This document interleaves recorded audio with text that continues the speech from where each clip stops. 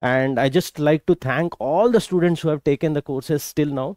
I'm making my journey of online really really successful. I gave myself one year last year at the same time when i was trying to launch the courses to check whether i'll be successful in the online world or not. Uh, because as you could see the traits that i have as a teacher are slightly different from the conventional uh, teachers who are really successful in online especially one or two years back when i used to see the online uh, situation uh, i was asking myself i was doubting myself uh, in a positive manner only whether i am cut out for teaching online or not. All those doubts have been put to bed thankfully so that it gives me courage and also the motivation to continue.